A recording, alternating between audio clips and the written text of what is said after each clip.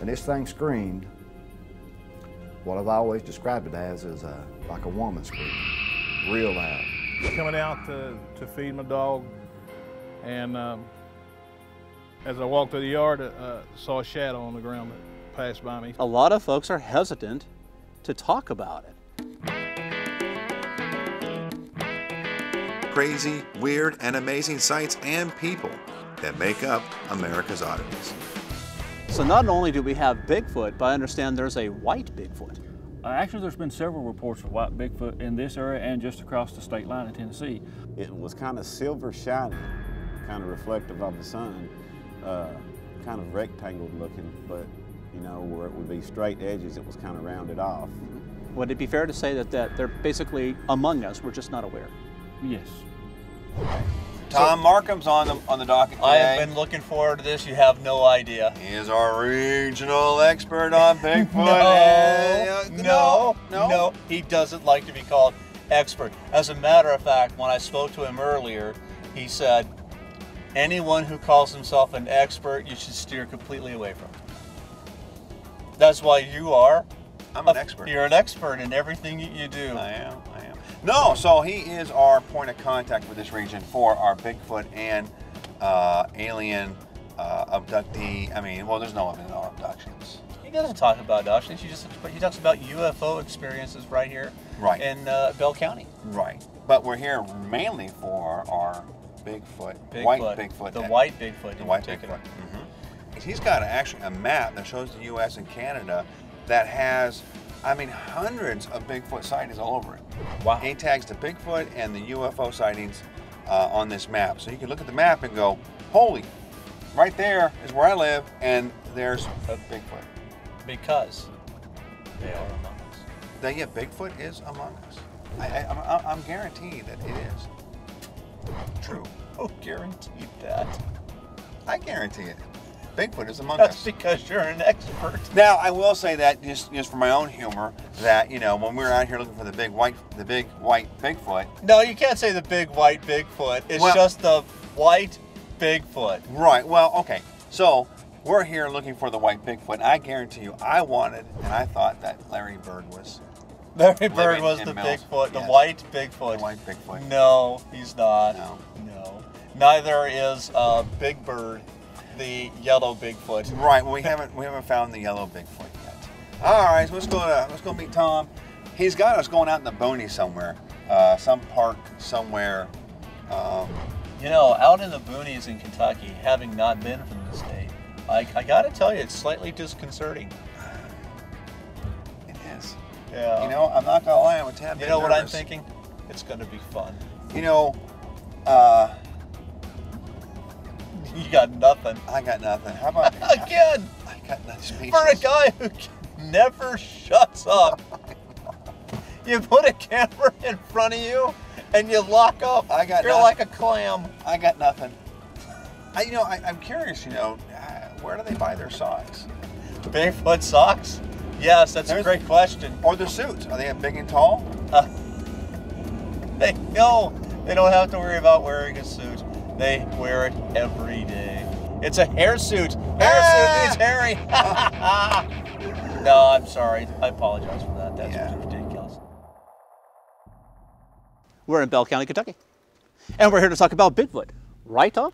Yes, we are. All right, excellent. So my understanding there's been a lot of sightings. And, and Yes, there have. I traced the history back uh, as far as I could go. I found uh, back into the 40s, but there is also a story of Daniel Boone, who uh, supposedly killed a 10-foot hairy man. They called a Yahoo, but some of them thought he got it out of the Gulliver's Travels book. And you know, he was a tall tale guy.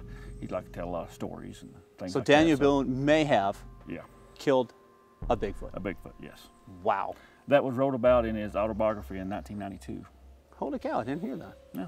So tell me, Tom, what, uh, what made you want to set up a website and start tracking what's going on with Bigfoot? Well, I've always had an interest in uh, Bigfoot and UFOs and things like that. So I wanted a place where we could keep up on the recent sightings, and maybe I would I, wanted to do debunk photos and videos and things like that. And so I, I kind of started the website, and it, it grew, and I, I got to where I took in other people's stories. And our biggest uh, reports are coming from New Hampshire and from Oregon. Uh, recently, we just cast a track in, in uh, Oregon that was uh, 13 to 15 inches long and about six or seven inches wide. Uh, and the track had dermal ridges. Once they cast the track, you can see dermal ridges just like you would have in your thumb. Well, that same track was found either a year or two years later in another state by a different researcher, and it had the same exact dermal ridges. We get a lot of stuff sent to us by followers and you know fans and friends, and uh, there's these things they call them stick formations, uh, where array of sticks maybe are designed or put into a tree, and it's intelligence that's done it. It's not just a random windfall or something like that. And you know that's trace evidence that, that builds the case. So not only do we have Bigfoot, but I understand there's a white Bigfoot. Uh, actually, there's been several reports of white Bigfoot in this area and just across the state line in Tennessee. Uh, not only do we have a lot of Bigfoot sightings here, we also have a lot of UFO sightings. Uh, back last year, we kind of had a little bit of a wave of UFO activity, which started on uh, April the 2nd. And then uh, in September, we had the, uh, the UFO up at uh, which cast photographs, which is which is very good evidence. It's very unusual. It's definitely not a conventional aircraft. I understand you have your own UFO story to share. Yes, I do. Uh, back in probably, this was probably uh, middle 90s, me and my wife owned the business. As we was going in, I looked up and uh, there was this, it was a perfect circle and it looked like a fluorescent light. The whole thing was lit up on the bottom.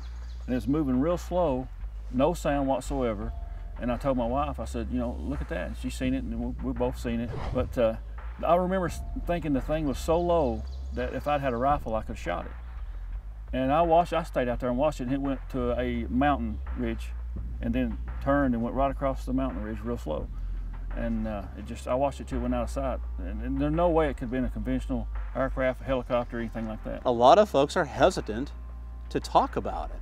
Right. Um, and only after, you know, uh, engaging in conversation are they willing to say, yeah, they'll they'll start to own up that yeah they know about it. Yeah. So would it be fair to say? I mean, I mean, I don't want to put any words in your mouth, but I'm going to try. You ready? Would it be fair to say that that they're basically among us? We're just not aware. Yes.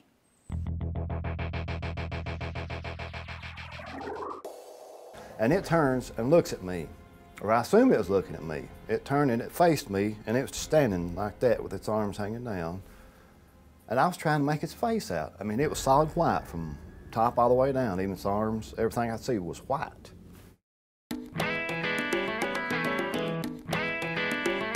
Hey, so what did you think about Tom?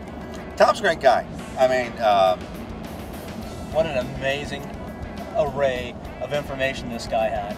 I mean, really, from uh, his Bigfoot tracking system all the way to uh, helping turning us on to uh, UFOs. And that's another uh, interesting thing that we'll have to make sure we check out. Well, we are going to check the UFO stuff. I think what's kind of cool is, you know, uh, the, the continuous searching in the area that he does. You know, he's committed. There's no getting around it. And what did I tell you? Don't call him an expert. I see. I tried to warn you. My curiosity goes to: Is there a connection between Bigfoot and the UFO sightings? Okay, I got nothing on that. Nothing. I got nothing. Really? I mean, you don't see a connection there with the Bigfoot sightings? Where all the, there, look at this map. There's UFOs, Bigfoot. Right. UFOs. Bigfoot. I have one word to sum that up. You ready? Twinky dink. Hey, look, we really got to make a move. I know. We're going to be late for the Stephen interview. Yeah, the interview with Stephen. Yeah. Who saw the white Bigfoot? Right, which is why we're here he's on a tight line, and, and, and the big thing is, he asked us not to show his face. You know, he specifically requested, you know, kind of a blackout and alter his voice. Yes. So, because, well, and I can do that. I can do that. I mean, I, I can make, I can put him to the, the back to the window, uh, silhouette him out. We Great. can, we can. I got the voice synthesizer with us. We can, we can. I can on him alone. Good. Yeah.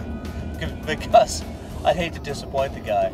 Um, it's the only reason why he said he was willing to do the interview. Explain to me what happened, what, uh, your experience with the Bigfoot. My experience happened uh, in the late 70s. It's been like 30 some years ago.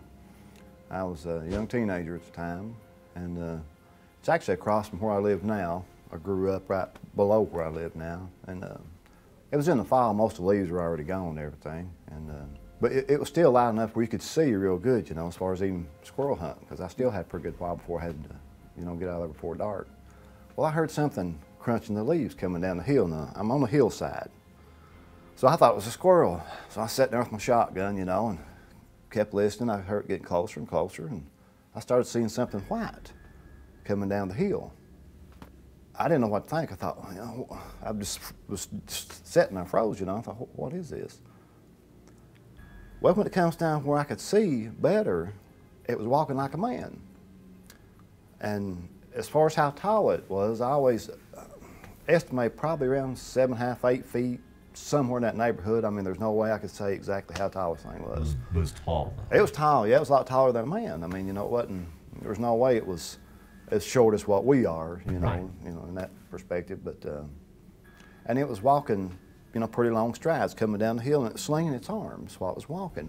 And I noticed its arms were longer than a person's. They come down. I would imagine around kneecaps or something. I mean, they was a lot longer than what a person's was. And it comes on down, and it probably stops about uh, no more than 40 yards from me. You know, I'm sitting here this way, it walks down the hill, it stops, like I said, no more than 40 yards, which is not that far. I didn't, you know, you talking about flipping somebody out, man, and it turns and looks at me, or I assume it was looking at me. It turned and it faced me, and it was standing like that with its arms hanging down. And I was trying to make its face out. I mean, it was solid white from top all the way down, even its arms, everything I see was white. And it looked at me probably for not, not too long, maybe five, ten seconds, which seemed like forever. We kind of sitting there looking at each other. I was sitting, he was standing there, and this thing screamed. What I've always described it as is uh, like a woman screaming, real loud. Now this is this is exactly what happened. I can, you know, like I said, it's been 30 some years ago, and I can see this as plain as if it was yesterday. Well, this thing screamed, like I said, like a woman screaming real loud, and it turns and it takes a couple big leaps down the woods, stops, turns around back at me, and there's a tree that looked to be probably about that big. So this thing starts smacking this tree, and that tree, you know, I could see it going, and when it did, I made a beeline like a rabbit back to the house. Do you think that maybe the smacking of the tree was some sort of, it was in, intentionally to scare you away? Some sort of, Well, at the time, I, I didn't know, but it did. I mean, it worked if that's what he was doing, or she, or whatever it was. You know, it worked.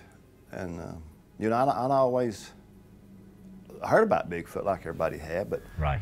you know, after got back uh, home, I thought, uh, well, could it have been a person. No, it was too tall. There's nobody around that I know of that was that tall. Nobody had arms as long as this thing had. So I guess it's fair to say that you're a believer. Oh yeah. I mean, uh, you know, like I say, that's something that I've never saw a UFO, but I, I'm not Right. going to say they're not there. Right. But some things you, you have to see for yourself to believe. But no, after I saw that, well, there's not a doubt in my mind they're out there. And I have heard of people seeing what they call gray ones. Maybe you know it was gray, white looked white to me, you know. But and I still don't care, you know. I don't care who believes me and who don't. I know what I saw.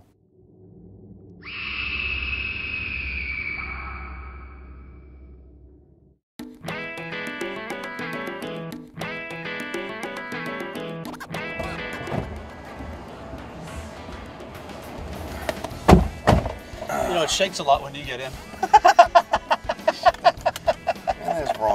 trying to lose weight, all right? Yeah, well, you keep losing it and I keep finding it. Yeah. All right, here you go. Here's your info for the day. So, as you know, we're in Middlesboro, Kentucky. That's right. Uh, Tom Markham, with the crypto website guy, he uh, put us in contact with all these people we're going to interview today. So there's a bunch. Okay. And um, uh, right now he has us lined up to go see Jeremy Ward. Jeremy Ward. Yes. And there's uh, him, some of the gentlemen, and his son all witnessed this uh, UFO we're going to You at. must be talking about Donnie Skidmore. What? Donnie Skidmore. I don't want to Donnie Skidmore. Yeah, he was with Jeremy Ward when they saw the UFO. Do you think he wears uh, tidy whities? Oh, maybe that's how we got to. Skidmore. Dude, that's just wrong. Camping is so wrong. All right. All right, let me say for the record that I don't think for a second that that GoPro right there is gonna make it. Oh, it does. It is. It is. It is. It is. Uh, Yeah, it is. You're stuttering, which means you don't trust it either. I don't. I'm just hoping it doesn't fall off like last time. No, no, no. I actually, these are all down nice and solid. yeah, you time. thought that last time. I know. No, don't be messing with your I'm cam. just straightening it out. Don't touch it. I hit the bumps. Yeah, whatever. Slido cam. You know what? If that camera hadn't been there, you'd have taken that turn five times over. Yeah. What's your point? So I was picked up by this. there it is. And it's got to stay wherever it lands. All right, all right, all right, all right. The camera stays.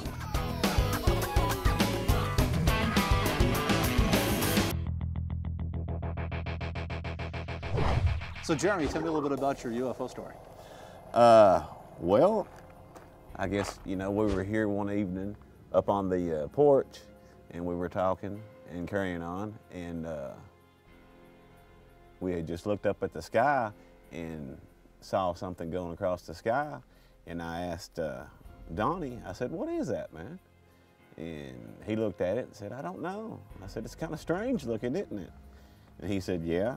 Right, and it just came across the sky, odd lights, bright lights. It was kind of silver shiny, kind of reflective of the sun, uh, kind of rectangled looking, but you know, where it would be straight edges, it was kind of rounded off.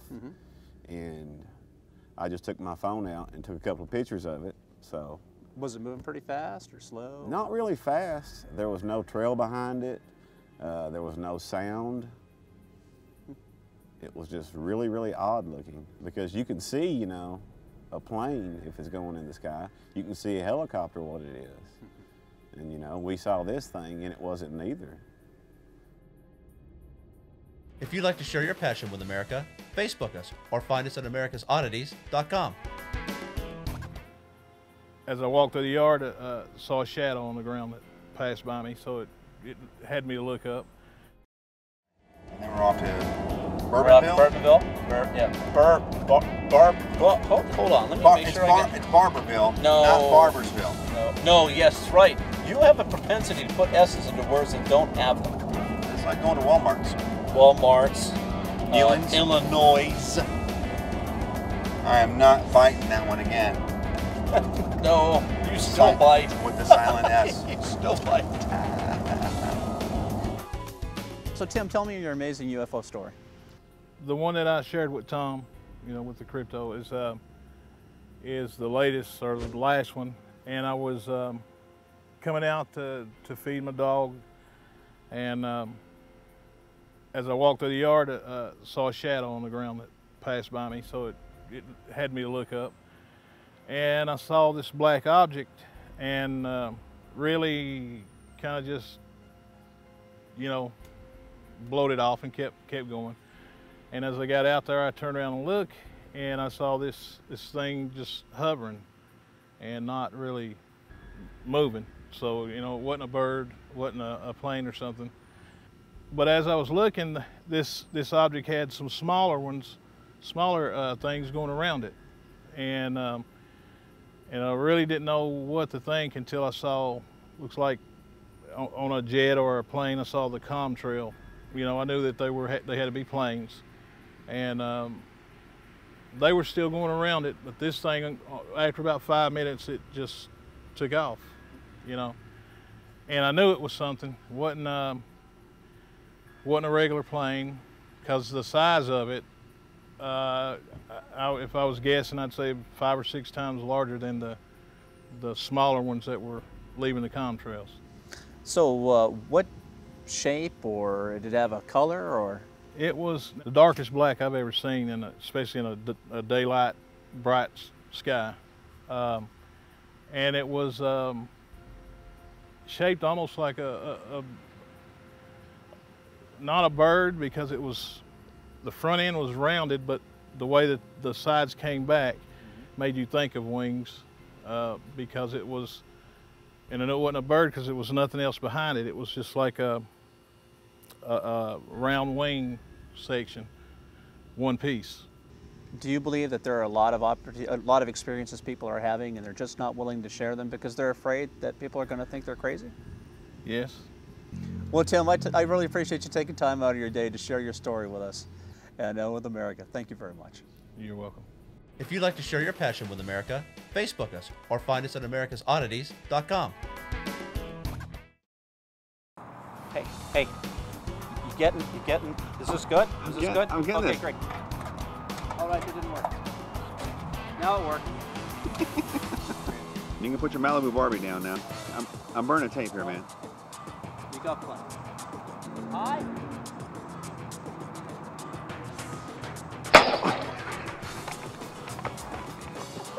That was not funny. Therefore, I'm leaving you. Seemed credible to me. Well, I, I mean, every- not to doubt the man. I mean, No, but everyone we met seemed very credible. I mean, from the Bigfoot to the UFO. I mean, Bigfoot story with you know uh, Steven. Yep. You know, I will admit, yes, I had the lighting and the audio backwards when it come to being, you know. Yeah, you messed that up. I, not the guy you're supposed to be yeah, I know. hiding from the camera, unless, of course, it was intentional. Well, you know. Maybe it was Freudian. Maybe you decided you needed to hide me. Let me hear your voice again. There's a UFO. so tell me more about your UFO. I know it's terrible.